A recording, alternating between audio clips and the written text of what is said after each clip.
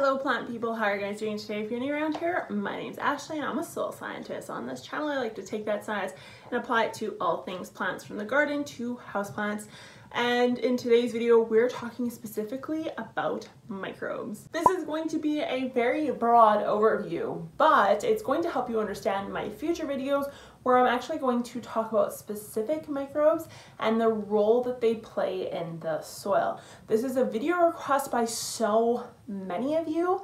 I can't even name the number of people who have requested this video, so here it is. I will also be getting into the arthropods, so the macro bugs in the soil system, but that will be in a separate video. In this video, we're specifically going to go over what microbes like to survive and the ways to provide it to them. So I wrote down some figures that I pulled out some of some of my textbooks and I want you to just imagine how insane these values are and how important microbes are to the soil. These numbers are also going to give you an idea of some of the other things I'm going to talk about later in the, on in the video about how to kill off microbial colonies and populations and just how difficult it can be to completely nuke a soil for lack of a better term. In a pinch, that weighs no more than a single paper clip. Soil can contain 3 million to 500 million bacteria, 1 million to 20 million actinomycetes, 5,000 to 1 million fungi, 1,000 to 500,000 protozoa, 1,000 to 500,000 algae, and 10 to 5,000 nematodes. Those values are insane. So you can see why they perform such important roles to our soil. The reason why you want microbes, the list can go on and on, but they provide very vital roles. And honestly, without them, soil and plants, they simply just would not exist. They help with the nutrient cycle itself, so converting organic material, your compost for example, once it's been degraded into bioavailable nutrients for your plants. It's also very vital in the actual structure of the soil. So as our arthropods or our macro bugs go and chew away at our dead roots in our soil, the microbes come along and they actually completely digest that and turn it into molecular sized nutrients. They also are leaving tunnels or holes in those decomposed root or leaf litter layer areas. This actually provides an enormous amount of oxygen. When we look at fungi, we're talking about the ability to survive droughts and even some new studies coming out where we can actually have plants that aren't even related be able to communicate with each other. And then when we start looking at nematodes and even some bacteria, fungi, we have the ability to fight off diseases to some extent, as well as keep predators or nasty bugs at bay, such as ants or mealybugs or thrips that sort of thing. So if you didn't watch my video on predatory nematodes, be sure to check that out if you're having issues with any soil-borne bugs, such as mealybugs, spider mites, thrips, that sort of thing. Anything that's basically doesn't have wings and originates in the soil, those predatory nematodes will take care of your issue. So how do we how do we get more microbes? How do we get more microbes in an indoor plant setting? How do we get more microbes in, an, in a garden setting? And the number one thing is we need to provide it food. These bugs love sugar. They love sugar in all its form. They do not compete directly with plants for nutrients and I feel like that's a common misconception. So when I talked about the Charles Downing Dowding no dig garden, I mentioned that the compost or the manure isn't going is going to result in a potential over application if we overdo the amount of compost and manure that we're using in the system. And people commented on that video saying, well, what about the microbes? We have more microbes because we're adding compost and manure and they need nutrition, so they're gonna eat the excess and therefore we won't have eutrophication. And that's not the case. So microbes actually eat sugars. They like sugar, just like we like sugar. I'm gonna do a video on actually molasses and we're gonna do a garden debunking on that one um, whether or not it's true. I'm not going to tell you the answer to that. I think you're actually going to be surprised by the answer on that one. But sugar is the best way to go. And compost and manures have that sugar content. So they will actually cause an influx in microbes when we add it to our soil. We can top dress and that's usually generally the best method because what will happen is those sugars will leach down into the soil system where the microbes can then feast on them. We'll get into incorporating manures and compost and the difference in that a little bit later on when we're talking about no-till versus till. But in general, if we top dress our pots in our home or our garden outside, we are going to feed those microbes regardless of what's in there. Now, because we're feeding them, in my mind, and this may just be more of my own input, I believe the di more diverse the compost and the manure you are adding, the better. Because obviously you're going to provide different polysaccharides, different sugars, and therefore you're going to encourage different types of growth of bacteria, bacterial and fungi, protozoa, that sort of thing. So you can diversify, do like a compost manure mix, or use different kinds of manure, or use different sources of compost. That's only going to work to your benefit. The second method, which is actually probably my favorite method, and I'm gonna let you in on some little tiny details here, but I'm actually going to be experimenting with the second method very heavily this year. I'm working with a company based in Saskatchewan. I'll put the logo here and I will link to them down below but I'm to do a separate video on this altogether and that is cover cropping. Cover cropping is going to help benefit microbes based on giving it more carbon, so more root fibers entering the soil, which is to result in eventually more oxygen, but in my case, with the type of cover crop I'm going to be using, which is alfalfa, I'm going to have some nitrogen fixing benefits, which is going to be huge for my soil. And then I'm also able to control my moisture better. So I'm always able to have a baseline of moisture, which is beneficial to the micro population. So I don't have to worry about drying out as much. So cover cropping is very key. You don't have to use, and I'll touch on this in my cover crop video that I'm working on, but you don't have to use a certain type of cover crop. Um, there's obviously some that are better than others, and you can actually use a heterogeneous mixture. So where I'm just using alfalfa, you can use like an alfalfa, clover, maybe um, wheatgrass, like a huge blend of different items for a cover crop. The biggest thing is, is that every plant has its own rhizosphere, so it's different grouping of microbes underneath it in its root section that help with communication with the soil and nutrient needs and all that sort of stuff. So the larger the number of crops you put in the ground, the better. Mostly because you're going to have a more diverse microbial community.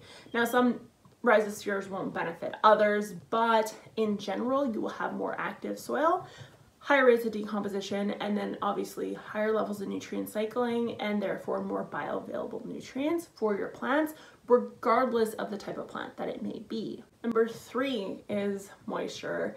And when I say moisture, I don't mean soggy and wet because when we get soggy and wet, we end up with anaerobic bacteria, anaerobic fungi and anaerobic microbes in general tend to be negative microbes. They usually fall into the root rot type bacteria. So we want to steer away from that, but we don't want our soil, regardless of the type of plant, even succulents or cacti, if we're trying to increase the microbial count, we do not want our soil to go dry. We don't want it to be bone dry. The lowest you'd want this to get would be a sponge that has been heavily wrung out. you know that base moisture that's there, that's kind of where you want your soil at at all times. When we dry it out completely, we kill off a huge majority of our microbes. However, there will be some residual microbes in there, because microbes reproduce so quickly, to the tune of doubling their population approximately every 20 minutes in ideal conditions, we're able to bring back those populations very, very quickly. So the fourth one, fourth one being no-till. There's a few different trains of thought with the no-till method and how it benefits microbes. And no factor or no theory is absolute. There's always variability in it and you need to decide what works best for you. So the first one being that tillage amplifies compaction, which it does. And the reason for that is pretty simple. If I have, I mean, I'm gonna draw a photo actually. So say this is my soil structure. I have my, you guys are about to see my expert drawing skills. I have my plants up above and we have our soil surface layer. And we have our entire soil profile down below. If we have a soil that's been untouched or untilled, the theory is, or the idea is, that aggregates begin to form. And this is a real thing. It's formed through glues. So soil glues is essentially what forms this soil structure. So because we have structure in here, we also have roots. As these roots begin to die, they begin to actually form tunnels, and these tunnels hold oxygen in them. Because we have a balance of oxygen and we have aggregates with holes in them, if we don't till this, all these little holes and these micropores will allow for water and oxygen to come through the system. This means we have higher microbe count because microbes need oxygen to survive. We'll get into that just a little bit later. Now, if we decide to rototill our soil, we've officially broken up all these little micropores in our system. And now we just have soil everywhere and it's all kind of laying on top of itself. We don't have any aggregates formed because we've blocked it up. So aggregates, actually next time you're digging in your garden, um, you pull out a clump and you look at the clump and you think, huh, that's really stuck together. That's actually stuck together by glues in the soil, natural glues that form due to microbes. So once we crush that, we get a fine dust. We obviously no longer have that structure. Also, if you look at these aggregates, you're gonna notice lots of holes in them when you're digging in your garden. Those holes, again, are from roots, dead roots, or for, from poten potentially anthropods, so larger sized critters. Once we have all these little powder stuff, we end up with very little aggregation and zero natural process that has been formed over time. However, what can happen, so in this system we have very little to no oxygen. The initial days of tilling, of actually tilling up our garden, um, we're going to notice an explosion of growth.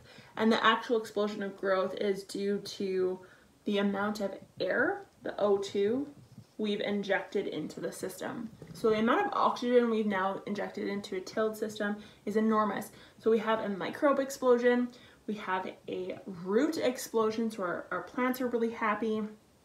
And this is really common when we have the uh, lawn, for example, a grass lawn, where we do those plugs and we actually rip pieces of soil out. You'll notice your grass does much better when you aerate it, and that's actually because you're injecting O2 into the system.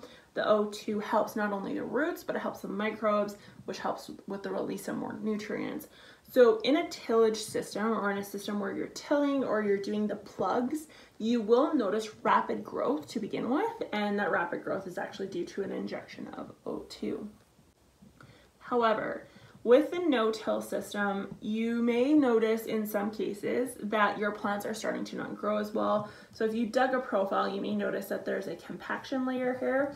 That compaction layer is like cement. And due to that cement type layer, which we talked about in a few videos now, and I'll continue to talk about, there's no oxygen and there's no water. So any water that comes in to the system will actually end up here and then it'll run off or actually will sit in the system which will end up sitting in the root layer which will eventually suffocate and cause an anaerobic environment which is not good for microbes or for the plant roots. The second scenario that I've seen in actual systems on a larger scale, but you may have it in your garden depending on your space and how much area you have to work with, is that in farming in particular, we end up with wet zones. So zones where water is sitting on top. And that's because that compaction layer or a clay layer is really high to the surface. And so what it's causing is kind of like a bathtub effect where the water is just sitting on the surface. The only way to stop both this lower layer and this upper layer water accumulation, both of which kill your microbe colonies by making uh, kill your microbe colonies, but also your root system by causing a low oxygen scenario, so a anaerobic environment, is to till. So you have to go to this system in order to alleviate either one of these two issues. No-till will work to your benefit if you're not noticing the first or the second scenario. If you're noticing the first scenario or the second scenario, or you may think the first scenario is happening, you're not sure, dig a pit, see if you hit a hard pan. If you don't, then it may be something else. It could be lightly reserved to an area too where you're ending up with puddling. Do not do a no-till system. You need to till the soil. You need a rototiller, you need to get in there with a shovel and mix it up because this situation where water's pooling, you're causing an anaerobic environment is worse than a tilled system where you're actually getting some action and something is happening. So that is something to watch out for. If you do not need to till, don't do not till. It's going to help your microbes colonies immensely. But if you're noticing water pooling or improper drainage, then you will need to till because you're still killing your microbial colonies. So the fifth one is actually mulching and this kind of goes back to the moisture and moisture conservation. So placing a mulch over top will help increase the moisture, which will then help the microbes down below. It'll also help remove some of the heat that may come, some solarization of the soil that may just naturally happen in say a south facing garden bed or in a garden bed that's exposed to lots of sun. It's going to help alleviate that increase in temperature. Now obviously if you're doing method two, which is a cover crop, you can't mulch with it. I mean you could, but you wouldn't be able to do a deep mulch or a bunch of mulch. So that's something to keep in mind. And the sixth one, which is common practice, but I don't agree with, is the use of pesticides, fungicides, uh, herbicides, insecticides. Pesticides is actually all encompassing of the three, but anyways, and then fertilizers, inorganic fertilizers. And the theory here is that because those are meant to kill or that fertilizer has high salt, you will kill your microbial population which is true. You are going to put a dent or dent, however you pronounce it in your country or your area, in your microbial population. That goes without saying. But anytime in the field when I've studied this, research papers I've looked at, just the amounts that I've I've looked at this scenario, you will never, ever, just look at the values that I stated in the beginning of the video. You will never, ever kill off your microbial colony to the point where you have nuked soil. The only time that you will nuke your soil is if you decide to bake it or you decide to solarize it.